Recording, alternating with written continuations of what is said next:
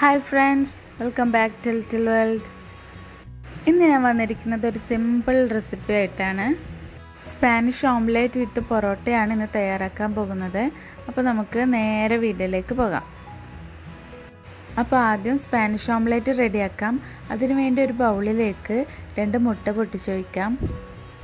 ഇതിലേക്ക് അര ടീസ്പൂൺ ഉപ്പും അര ടീസ്പൂൺ കുരുമുളക് പൊടിയും ചേർത്ത് ഒരു ഫോക്ക് ഉപയോഗിച്ച് ഒന്ന് ബീറ്റ് ചെയ്തെടുക്കാം.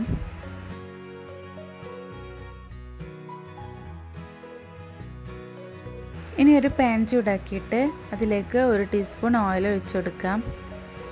ഇനി ഇതിലേക്ക് ഒരു ചെറിയ ഉരുളക്കിഴങ്ങ് കനം കുറച്ച് അരിഞ്ഞത് ചേർത്ത് കൊടുക്കാം.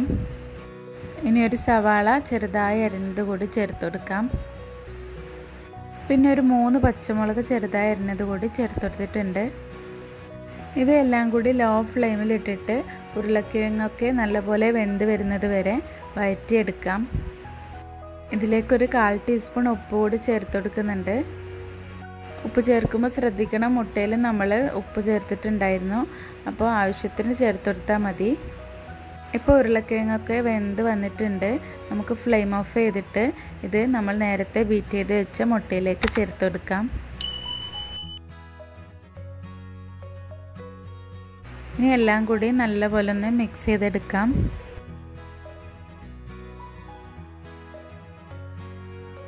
ഇനി വീണ്ടും ഒരു പാൻ അടുപ്പത്ത് വെച്ച് ചൂടായതിനു ശേഷം ആവശ്യത്തിന് എണ്ണ ഒഴിച്ചിട്ട് നമ്മുടെ എഗ് ബാറ്റർ ഇതിലേക്ക് ചേർത്തെടുക്കാം.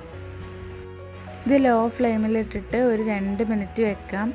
അതിനുശേഷം നമുക്കിതൊന്ന് തിരിച്ചിട്ട്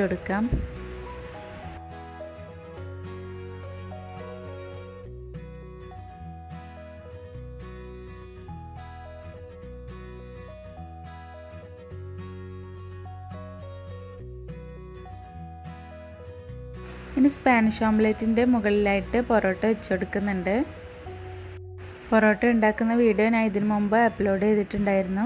കാണാത്തവരുണ്ടെങ്കിൽ ഒന്ന് കാണുക. ഇപ്പോൾ സ്പാനിഷ് ഓംലെറ്റിന്റെ മറ്റേ വശവും റെഡി ആയിട്ടുണ്ട്. നമുക്കിതൊരു പ്ലേറ്റിലേക്ക് മാറ്റിയതിന് ശേഷം ഒന്ന് റോൾ ചെയ്തെടുക്കാം. അപ്പോൾ നമ്മുടെ സ്പാനിഷ് ഓംലെറ്റ് വിത്ത് പൊറോട്ട റെഡിയായി കഴിഞ്ഞു. വളരെ സിമ്പിൾ റെസിപ്പിയാണ് പൊറോട്ടയുടെ കൂടെ കഴിക്കാൻ കറിയൊന്നും ഇല്ലാത്ത സമയത്ത് ഇതുപോലെ ആക്കി നോക്കിയാൽ മതി.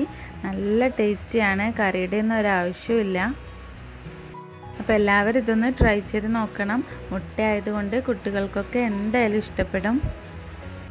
ട്രൈ ചെയ്തിട്ട് ഫീഡ്ബാക്ക് അറിയിക്കാൻ മറക്കരുത്. അപ്പോൾ എന്റെ വീഡിയോ നിങ്ങൾക്ക് ഇഷ്ടമായെങ്കിൽ ലൈക്ക് ചെയ്യുക. എന്റെ ചാനൽ സബ്സ്ക്രൈബ് ചെയ്യാത്തവരുണ്ടെങ്കിൽ ഒന്ന് സബ്സ്ക്രൈബ് ചെയ്യുക. അപ്പോൾ ഇൻഷാല്ല മറ്റൊരു വീഡിയോയുമായി വരുന്നത് വരെ Thank you for watching. Bye.